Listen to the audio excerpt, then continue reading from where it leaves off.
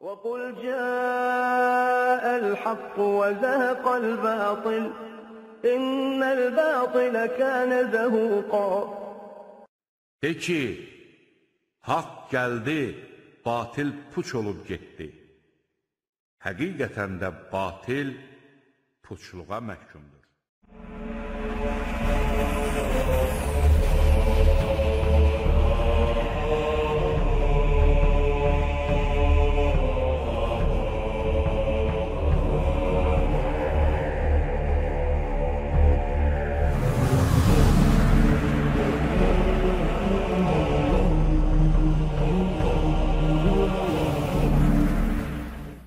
بسم الله الرحمن الرحيم والصلاة والسلام على أشرف الأنبياء والمرسلين زينة الخلائق أجمعين حبيب إله العالمين المصطفى الأمجد الرسول المسدد أبي القاسم محمد. اللهم صل على محمد وآل محمد. وعلى أهل بيته الطيبين الطاهرين أما بعد. اعلم ثبتك الله وإياي على الصدق والاتباع. ونجانا من الكذب والابتداع. أن مجموعة الراصد قامت منذ أكثر من سنة بعملين أقرت بهما كل عين حيث أثبتت على هذا الشخص الجهل والكذب والتدليس بأسلوب واضح دون تلبيس. والجدير بالذكر أن المسلمين ألحوا عليه كثيرا بأن يرد ويبين موقفه. لكن طال الانتظار وعجزه عن الرد بالدليل العلمي قد أوقفه. وكان العمل الأول بالعنوان الظاهر أمامكم على الشاشة.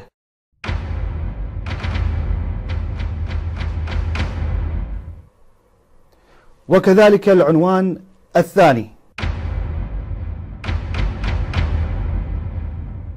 والآن نحن في العمل الثالث في الرد عليه والجزء الثاني من فضيحته. بين قوسين في تبيان أو في بيان أكاذيبه وتدليساته. فماذا قال؟ وماذا نسب هذه المرة للشيخ النائيني وهو أحد أكبر علماء الشيعة؟ ماذا قال؟ خلونا نشوف. يعني هناك من من يقول مثل نائيني أن من يقول بأن هناك روايات ضعيفة في كتاب الكافي فهو مبتدع. أقول وهذا كذب محض. الشيخ النائيني رحمه الله لم يقل ذلك. الشيخ النائيني هذا أستاذ السيد الخوئي.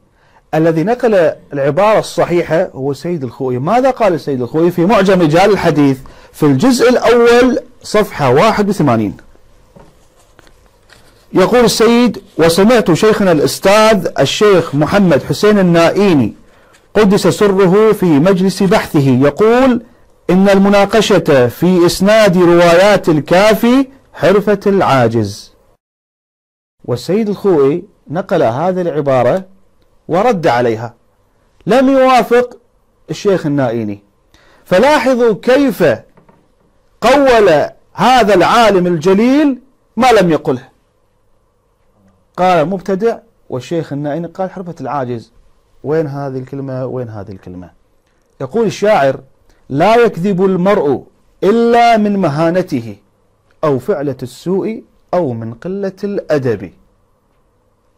هذا الشخص أيضا ماذا قال ونسب لعلماء الشيعة؟ خلونا نشوف.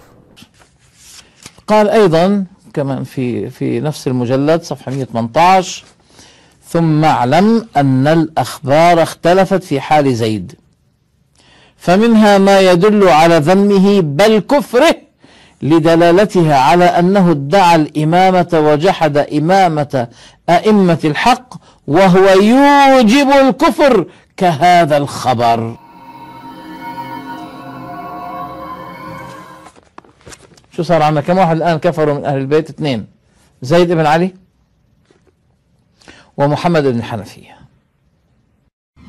طبعا هذا الشخص نقل من كتاب مرآة العقول للعلامة المجلسي.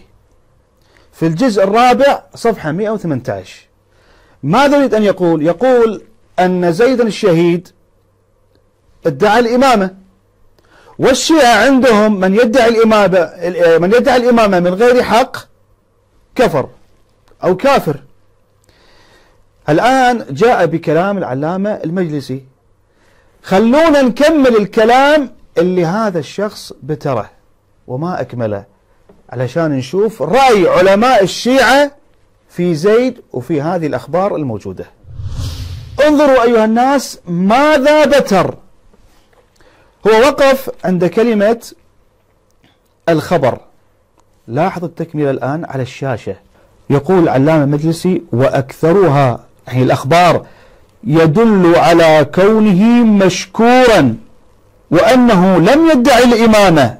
وأنه كان قائلا بإمامة الباقر والصادق عليهما السلام وإنما خرج لطلب ثار الحسين عليه السلام وللأمر بالمعروف والنهي عن المنكر وكان يدعو إلى الرضا من آل محمد صلى الله عليه وآله وسلم. وإنه كان عازما على أنه إن غلب على الأمر فوضه إلى أفضلهم وأعلمهم. تحت خط وإليه ذهب أكثر أصحابنا بل لم أرى في كلامهم غيره. هذا الكلام الذي بتره هذا الشخص ودلس على المشاهدين. سبحان الله! يضع الكتاب أمام الناس ويدلس ويبتر. ما عندنا تدليس عندنا كذب. إذا عرفنا أن زيدا الشهيد طبعا زيد الشهيد هو ولد الإمام السجاد عليه السلام ولد الإمام زين العابدين عليه السلام. إذا عندنا نحن الشيعة أن زيدا ماذا شهيد وهو إنسان ممدوح عندنا. لكن هذا الشخص فعل ما فعل. ونترك الحكم كالعادة للمشاهد الكريم. أيضا هذا الشخص عنده تدليس من هذا النوع. ماذا فعل؟ عزيزي المشاهد شيء عجيب. تابع معنا. كيف الرافضة يعذرون ابن مسعود؟ نعم. ورد في الحدائق الناظرة. نعم كتاب الحدائق الناظرة. النظرة بأن ابن مسعود لم ينكر المعوذتين كونهما من القرآن وإنما كان لا يسمح لنفسه بإثبات شيء من مصحفه الخاص به إلا أن يأذن له رسول الله صلى الله عليه وسلم بذلك. وكأنه لم يبلغه الإذن قال المحقق البحراني فهذا تأويل حسن. الجميع الآن محروقين. طبعا يريد هذا الشخص أن يبين أن الشيعة يبرئون عبد الله بن مسعود من آه عد من قوله بعدم قرآنية المعوذتين. يعني المعوذتين عند عبد الله بن مسعود مو ثابتة من القرآن. عنده مو ثابتة من القرآن. يريد أن يبين أن الشيعة يعذرون عبد الله بن مسعود. ونسب هذا الكلام للعلامة البحراني صاحب الحدائق. أحد علماء الشيعة. إذا رجعنا لكتاب الحدائق الناظرة الجزء الثامن صفحة 231 شنو راح نشوف؟ راح نشوف أن الكلام الذي ذكر هذا الشخص موجود في الهامش للكتاب. الهامش مو كلام العلامة البحراني. هذا الكلام نقل المحقق الأيرواني عن كتاب فتح الباري لابن حجر العسقلاني وهو عالم سني مو شيعي. فلاحظوا شلون؟ لا. نقل كلام لأحد علماء السنة ونسبه للعلامة البحراني. خلونا نشوف مع بعض ماذا قال المحقق في الهامش؟ يقول في الجزء الثامن صفحة 231 هذا الآن كلام من المحقق الأيرواني ينقل من كتاب فتح الباري اللي صاحبه عالم سني. وفي فتح الباري الجزء الثامن صفحة 525 وقد تأول القاضي أبو بكر الباقلاني في كتاب الانتصار وتبعه عياض وغيره فقال لم ينكر ابن مسعود كونهما من القرآن. وإنما أنكر إثباتهما في المصحف. يعني المعوذتين فإنه كان يرى أن لا يكتب في المصحف شيئا إلا أن يأذن النبي صلى الله عليه وآله وسلم فيه. وكأنه لم يبلغه الإذن فهذا تأويل منه وليس جحدا لكونهما قرآنا. وهذا تأويل حسن. قال المحقق البحراني فهذا تأويل حسن. هذا الكلام الذي نقله هذا الشخص وبتر ما بعده. وهذا الكلام كلام ابن حجر مو كلام العلامة البحراني. وهذا تأويل حسن. إلا أن الرواية الصحيحة جاءت عنه يعني عن ابن مسعود أنهما المعوذتين ليستا من القرآن. إلا أن يحمل القرآن على المصحف. وهكذا تبين أن هذا الشخص دلس على العلامة البحراني.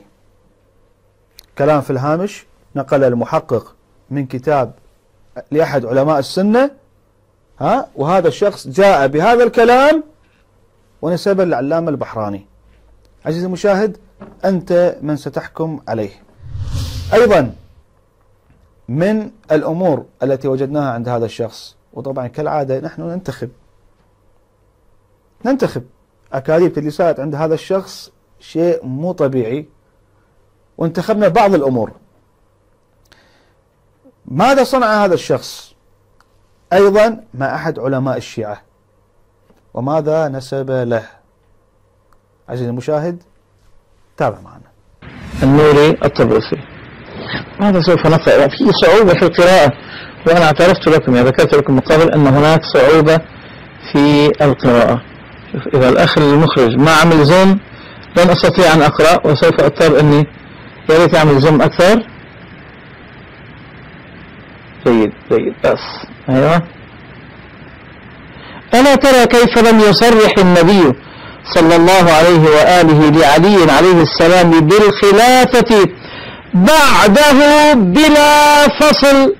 هذه بلا فصل بيعرف شو معناتها الحيدري ولذلك أهديها له من كلام الطبرسي. بلا فصل لم يصرح النبي صلى الله عليه وسلم لعلي عليه السلام بالخلافة بعده بلا فصل. في يوم الغدير. ما صرح. نشوف بعد في شيء في الصفحة الثانية. وأشار أه وأشار إليها. طيب أعرضها لكم للتوثيق. وأشار إليها بكلام مجمل مشترك بين معان يحتاج في تعيين ما هو المقصود منها إلى قرائن. هذا من؟ هذا نور الطبرسي لو يلاحظ المشاهد أن في الشاشة الآن أمامك مكتوب في نفس الصفحة الأولى التي ذكرها التي عرضها مكتوب فإن قلته. لاحظ؟